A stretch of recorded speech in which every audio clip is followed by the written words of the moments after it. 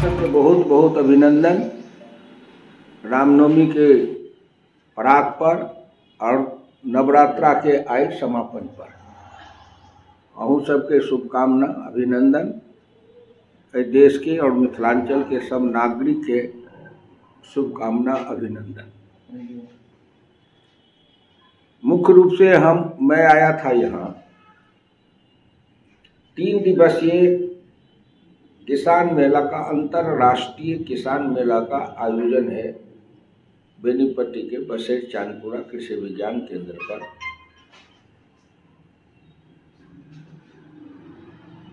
S के Chaudhary, educational संस्थान के द्वारा वो चलाया जाता है और उसमें संत कुमार चौधरी जी उसके अध्यक्ष हैं।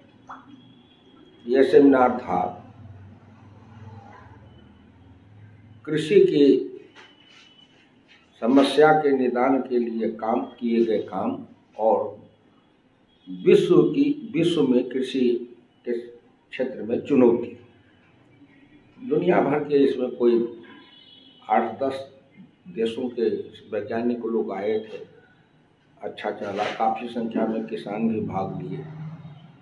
और इस मिथिलांचल में कृषि विज्ञान केंद्र जाल, कृषि विज्ञान केंद्र, झंझारपुर के भी किसान इस मेला में आए थे, वो उनके द्वारा लाया गया था और काफ़ी लोग हैं। वहाँ देखने से ये पता लगता है कि इस मिथिलांचल के अंदर अपने आप स्वतः जीविका के द्वारा या अन्य तरह के समूह के द्वारा बना करके महिलाएँ और नौजवान जो काम कर रहे हैं वह अद्भुत है और प्रशंसनीय है क्योंकि हम न उसको देख देखने जाते हैं और न उनके बारे में हम कभी समाज को जा, जानकारी देना चाहते हैं कि यहाँ भी कर रहे हैं। ऐसे ऐसी महिलाएँ सब हैं। वह अपने अपने तौर पर जीविका के द्वारा बहुत ही उनको मैंने कई को मंच पर सम्मानित भी किया उनको।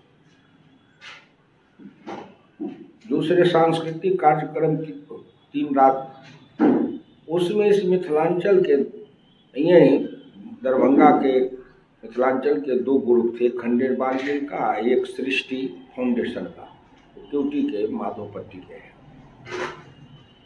मैं बैठ करके रात में उनके कार्यक्रम को दो घंटा, तीन घंटा इसलिए देखने गया था कि हमारे यहाँ भी इन लोगों का कार्यक्रम कैसा होता है। उनके कार्यक्रम को देखने से उनकी प्रतिभा और उनमें जो क्षमता है, उसको देखने से मुझे लगा कि इस मिट्टी के अंदर जो प्रतिभा है, योग्यता और क्षमता है, कार्य दक्षता है, दुर्भाग्य से हम ही लोग उसको आगे बढ़ाने में सक्षम नहीं है, उनको दुनिया के सामने रखने में सक्षम नहीं है। वैसे भारत सरकार की नीति है, जो अमृत आज़ादी के अमृत महोत्सव के अवसर पर, जो देश भर के अंदर जो लोक कला है, लोक संस्कृति है, लोक नृत्य है, जो लोक जीवन है, उसके ऊपर में हर जगह कार्यक्रम चलाया जाए और राज्यों को एक निर्देश दिया गया है करने का।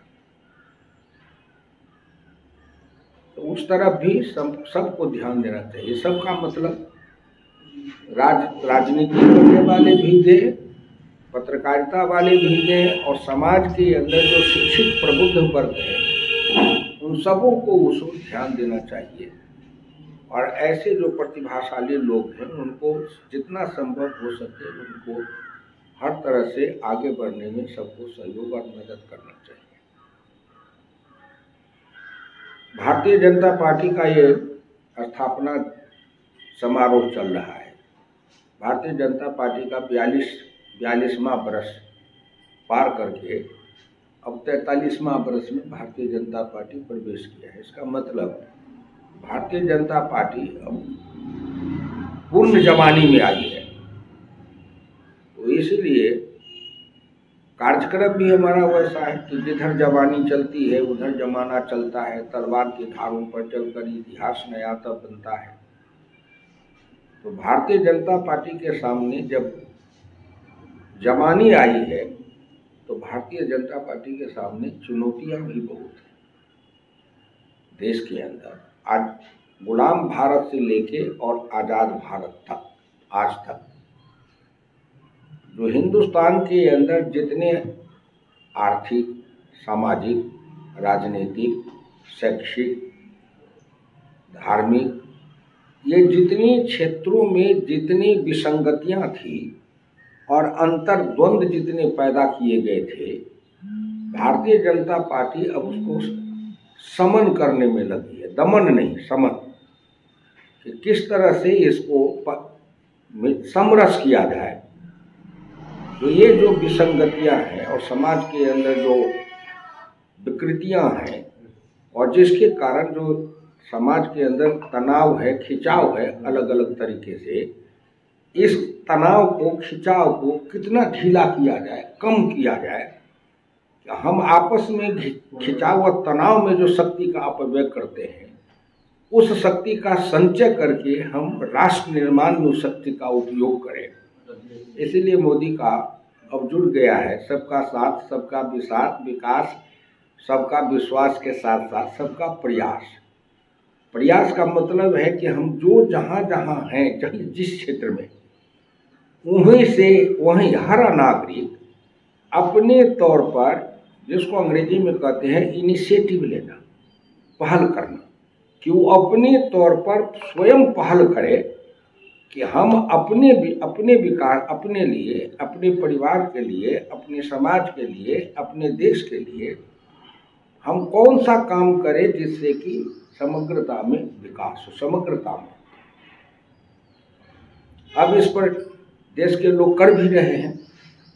सैकड़ों नौजवान हैं जो स्टार्टअप इंडिया से स्टैंड अप इंडिया के द्वारा आत्म आत्मनिर्भर भारत के द्वारा, स्वावलंबन स्वावलंबी भारत के द्वारा ये जो कार्यक्रम सब है उस कार्यक्रम के तहत कर रहे हैं और उनके प्रतिभाओं की प्रतिष्ठा विश्व स्तर पर होने लगी है। हाँ दुर्भाग्य है कि भारत के अंदर ही कुछ लोग हैं जो अपने ही घर के लोगों की प्रतिभा को पूजा करने में उनको शर्म आती है और बाहर बाहर के नकली माल को भी वो असली सिद्ध करने में लगे रहते हैं। भारत के अंदर एक विकृत मानसिकता वाले लोग आज़ादी के समय से रहे उनकी बात को हम छोड़ देते हैं। नकारात्मक नकारात्मक बातों को छोड़ देते हैं। लेकिन सामान्य रूप से इस देश के लगभग पचासी नब्बे प्रतिशत लोग हैं जो सकारात्मक भाव से इस देश को हर क्षेत्र में आगे बढ़ाने के लिए सोचने लगे हैं, कुछ करने लगे हैं, और उनको सरकार के द्वारा अनेकों प्रकार से कुछ अवसर भी मिलने लगा है। अब उसमें सबका हमको सहयोग देना चाहिए। भारतीय जनता पार्टी के द्वारा अनेकों तरह के कार्यक्रम चलाए जा रहे हैं। किसान का, हम कल जिला किसान किसान मोर्चा का बाबू बड़ी के एक गाँव में था मुरहदी गाँव में। कभी जेपी आंदोलन में उस गाँव में हम गए थे संयोग से मुझको कहा तुम कहीं आएँगे वहाँ पुराना साथी समय मिलेंगे। प्यूरी में एक पुराने साथी के घर पर उतने ही उनके बच्चे ले गए वहीं खाना खाए। खाना खाए। तो किसान मोर्चा का के द्वारा काम था कि किसानों के बीच में काम करना तो कार्यक्रम बहुत है। उन सारे कार्यक्रमों की हम यहाँ व्याख्या नहीं कर सकते, लंबा समय इसमें लगेगा। लेकिन लेकिन ऐसा मुझे अनुभव हुआ, क्योंकि मैं अब पार्टी का कोई पदाधिकारी नहीं हूँ। अन्य पार्टी का कोई, मुझे पार्टी की पार्टी की तरफ़ से कोई ज़िम्मेदारी है। मैं तो ऐसे पार्टी के पार्टी के संगठन में रहने के कारण अपने हिंदू संस्कृति के मुताबिक मैं संन्यास संन्यास संन्यास आश्रम में हूँ, उम्र के हिसाब से भी। लेकिन फिर भी हमारे सनातन धर्म में कहा गया है कि सन्यासी होने का मतलब यह नहीं है कि तुम बिल्कुल विरक्त हो जाओ। संन्यास लो संन्यास लेने का मतलब कि जब तुम चौथे पद में पचहत्तर वर्ष के बाद जब संन्यास आश्रम में जाओ तो तुम्हारा जीवन, समाज और राष्ट्र के प्रति समर्पित हो जाए तुम अपनी क्षमता के अनुसार समाज को और राष्ट्र को जो दे सकते हो, वो हमेशा उसको देने का प्रयत्न करते रहो, जब तक तुम कर सकते हो, तब तक। हमें पार्टी से बधे हुए हैं, इसीलिए कर लेते हैं। बिना पार्टी वाले काम नहीं कहीं लोग बुलाते हैं तो चले जाते हैं, कोई हर्जा कोई हर्जा नहीं है। अजाने में न संकोच है क्योंकि हमारे गुरु डॉक्टर लोहिया हम लोगों को पढ़ाए थे। बहुत मार्के की बात, और आज भी नरेंद्र मोदी भी पार्लियामेंट में कई बार बुलाए थे और मैं कहना भी चाहूँगा कि डॉक्टर लोहिया ने समाजवादियों को कहा था कि विधानमंडल के अंदर आपस में खूब झगड़ो, लड़ो झगड़ो नहीं, लड़ो, संघर्ष करो। लेकिन जब विधानमंडल के बाहर आओ तो वहाँ की बातें भूल जाओ। आपस में आपस में मिल करके एक जगह एक जगह बैठो, चर्चा करो। तुम अपने विरोधी को विरोधी समझो, विपक्षी को विरोधी समझो, उनको दुश्मन मत समझो। और तुम्हारा विपक्षी भी कभी संकट में फंसे तो सबसे पहले तुम उनके उनकी उनके क्या कहते हैं, सेवा में पहुंचो। तो आज जो राजनीति के अंदर जो ये कटता है, आँख मूंद के अंध विरोध है, उसके कारण राष्ट्र को जो क्षति हो रही है, उससे बचना चाहिए। कोई कोई जमात हो, चाहे वह हिंदू के नाम पर जमात हो, मुसलमान के नाम पर जमात हो, ईसाई के नाम पर जमात हो, राजनीतिक दल के नाम पर जमात हो लेकिन हर संगठन की क्या हर व्यक्ति को आज ये मान के चलना चाहिए कि भारत के नागरिक हमारे विरोधी है, लेकिन मेरे दुश्मन नहीं है। विरोधी होना एक बात है, दुश्मन होना अलग बात है। विरोधी है, आज विरोधी है, कल हमारे साथ हो सकते हैं। हम ही समाजवादी दल में थे, जनसंघ में हम नहीं थे। लेकिन हम ही आज भारतीय जनता पार्टी में हैं और भारतीय जनता पार्टी के सबसे प्रबल प्रबल पक्षधर हैं। तो चलते चलते कहीं जो विपक्ष में भी है, उनके साथ हमारी सहमति बन सकती है। और हम उनको दुश्मन मान लेंगे तो परदेशी के जैसे मानने से ये देश नहीं चलेगा। ये जो नरेंद्र मोदी जी कह रहे हैं तो भारतीय जनता पार्टी के कार्यकर्ताओं के ऊपर यह सबसे बड़ी ज़िम्मेदारी है। क्योंकि जिसका कप्तान आदेश दे रहा है कि तुमको फलाने चौकी पर जाना है, और जो भी सिपाही उस चौकी पर जाने में आनाकानी करे तो इसका मतलब वो सिपाही नहीं है, वो गद्दार है। सेना में ऐसे लोगों को कोर्ट मार्शल किया जाता है। सेना के पलटन का हुक्म है कि तुमको कहा गया उस चौकी पर जाना है। जाना है तो जाना है। मरना है या जीना है, लेकिन हमको वहाँ जाकर के झंडा फहराना है। या हम उस चौकी पर हैं तो मर जाएँगे, लेकिन हम उस चौकी को छोड़ेंगे नहीं, जो भारतीय सीमा पर हमारे जवान इसी मजबूती के साथ करते हैं।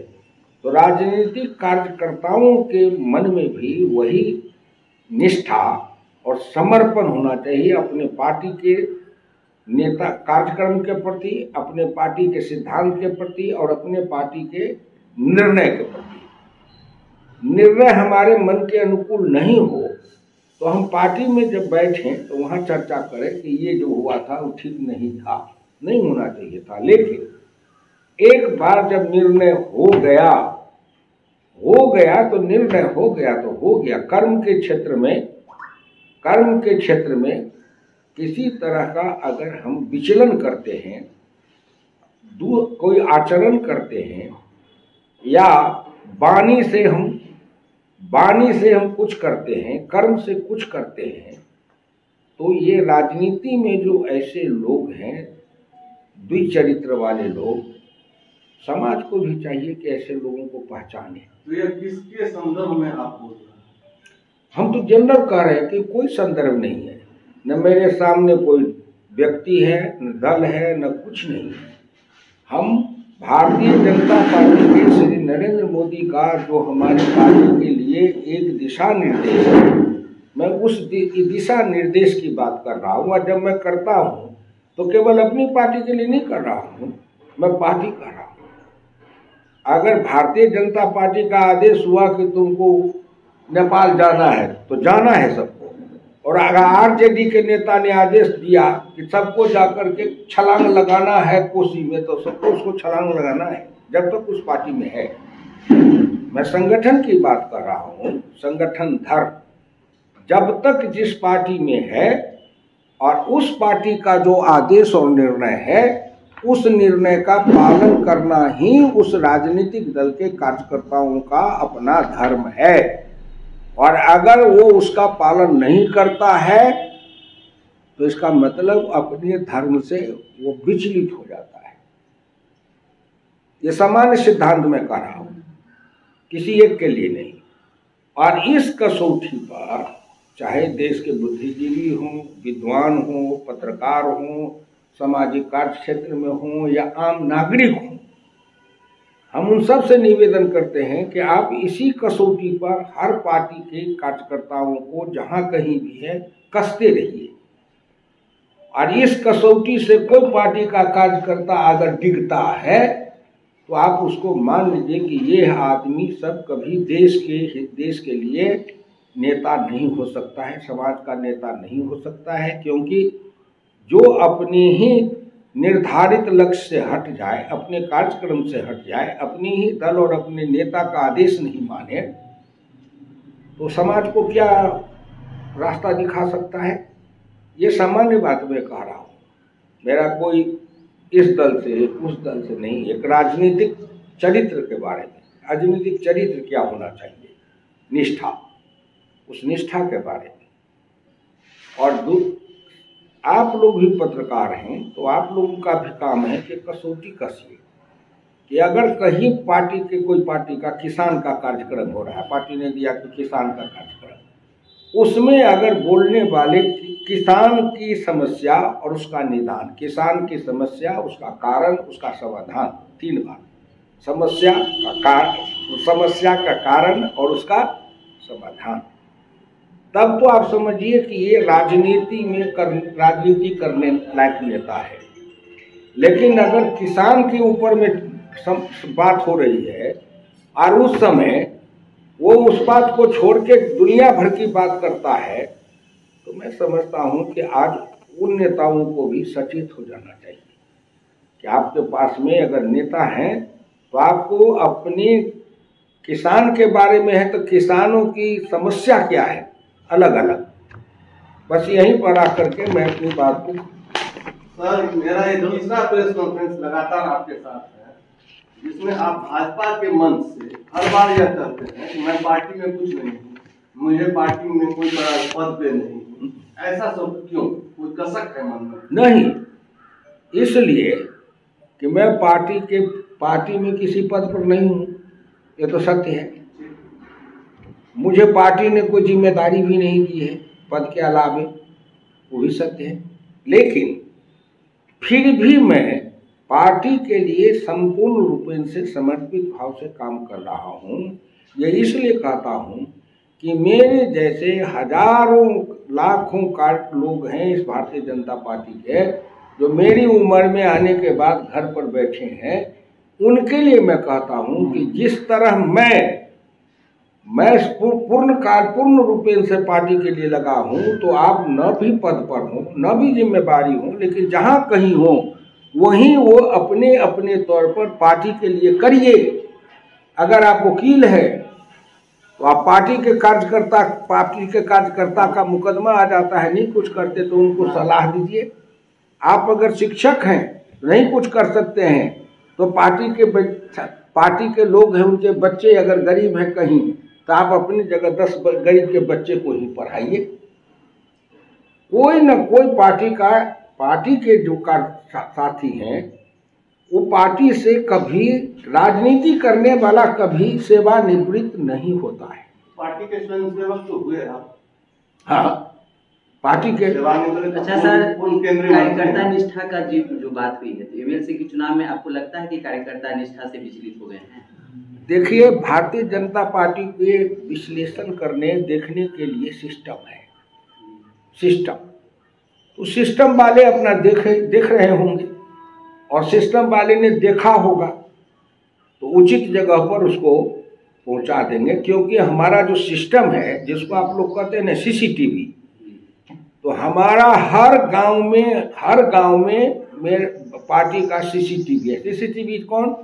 कार्यकर्ता, साथी। कोई पद पर हो या नहीं हो, लेकिन वो सीसीटीवी है।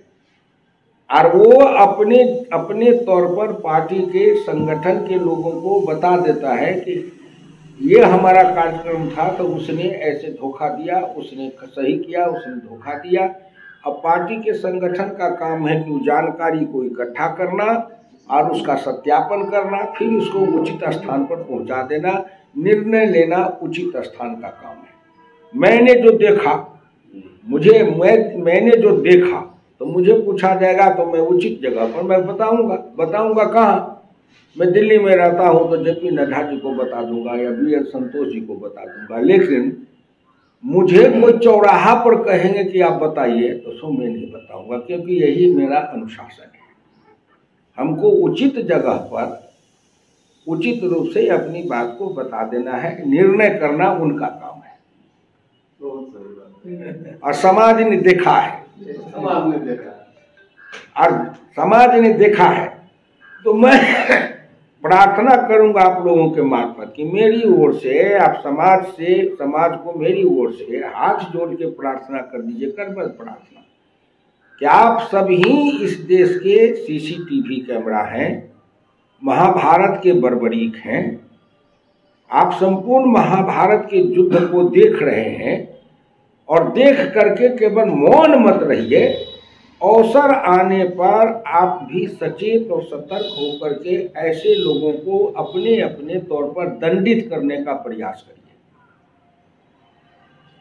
आपकी नज़र में अगर किसी पार्टी का कार्यकर्ता पार्टी के साथ विश्वासघात किया है तो मैं समझता हूँ कि वो पार्टी के साथ नहीं विश्वासघात किया है, वो समाज के साथ विश्वासघात किया है, वो राष्ट्र के साथ विश्वासघात किया आज अगर किसी कारण के लिए पार्टी के साथ धोखा दे सकता है, कल उस आदमी को अगर कोई ज़िम्मेदारी मिल जाए, वो मुख्यमंत्री के पद पर बैठे तो बिहार को धोखा देगा। अगर प्रधानमंत्री की कुर्सी मिल जाए तो राष्ट्र को धोखा दे सकता है। तो जो गाँव में गाँव में कहावत है मिथिलांचल में कि जहने खीरा के चोर, तहने हीरा के चोर। तो जो आदमी जो आदमी खीरा खीरा चोरी करते पकड़ा गया, उस आदमी को हाथ में अगर हीरा दे दे दिया जाए तो चोरी नहीं करेगा, वो लूट लेगा। तो ऐसे ऐसे लोग समाज में किसी भी पद के लायक योग्य नहीं है। यही हमारा भाजपा के स्थापना दिवस का जो मूल कार्यक्रम है। वो आप लोगों को बुलाए थे कहाँ तुम्हारा सर एक सवाल है। हाँ ले आओ ना यार। विधान परिषद चुनाव में जो प्रत्याशी की हार हुई है एनडीए के उम्मीदवार उनका कहना है कि भीतरघात के कारण मेरी हार हुई है। तो अभी उन्होंने कहा ना भीतर घात के कारण हार हुई है। तो भीतर घात कहाँ हुआ कैसे हुआ किसने किया किस कारण से हुआ? तो उनको ये उनको ये बात जाके श्रीमान नीतीश कुमार को और श्रीमान भारतीय जनता पार्टी को, जयसवाल जी को अभिखू भाई हमारे जो संगठन प्रभारी हैं, वहाँ जाकर के बताना चाहिए। आपको अगर पेट में दर्द है तो मधुबनी के पेट वाले अस्पताल में डॉक्टर डॉक्टर एस के मिश्रा है ना, उनके यहाँ जाइएगा, वो ना दवा बता देंगे। कि चौराहा पर कहिएगा तो चौराहा पर कौन सुधा का काउंटर वाला कोई दवाई दे देगा। तो जहाँ उचित जगह पर, मैंने कहा ना, भाजपा का सिस्टम उचित जगह पर, भीतर घात हुआ है। किसने किया? कैसे किया? क्यों किया? ये सारी बात को मैं, अगर उन्होंने कहा है तो मैं कहूँगा उनको भी। उनके दल के, जनता दल के प्रधान नीतीश कुमार जी हैं। उनके प्रदेश के यहाँ अध्यक्ष कुशवाहा जी हैं राष्ट्रीय अध्यक्ष ललन कुमार जी हैं उनको जाकर बता दें और स, ये हमारे सम, संगठन के गठबंधन के उम्मीदवार थे एनडीए के तो उस हैसियत से कहना हो तो हमारे तो भाजपा के संगठन के प्रधान हैं भिखू भाई और अध्यक्ष हैं जसपाल जी। उन दोनों आदमी को जाके बताया शिकायत की इस संदर्भ में तो जायसवाल जी ने उनको जवाब दिया कि वे हमारे दल में नहीं वो वीआईपी से चुनाव लड़े थे पिछला चुनाव और वो वीआईपी अब एक बात कहिए ना जसपाल जी ने उनको क्या कहा? वो तो जाने जसपाल जी। आ जाने वो। बोलू। आ गोबर घर में कन्या पर की बतियले तसे हम जब चौराहा पर कहिए तसे उचित है। तो जाने जसपाल जी थाने वो। आप हमारी YouTube चैनल हिंदुस्तानी मीडिया को सब्सक्राइब करें। अगर आप Facebook पे हैं तो हमारे पेज को लाइक करें, जिसका लिंक डिस्क्रिप्शन में है।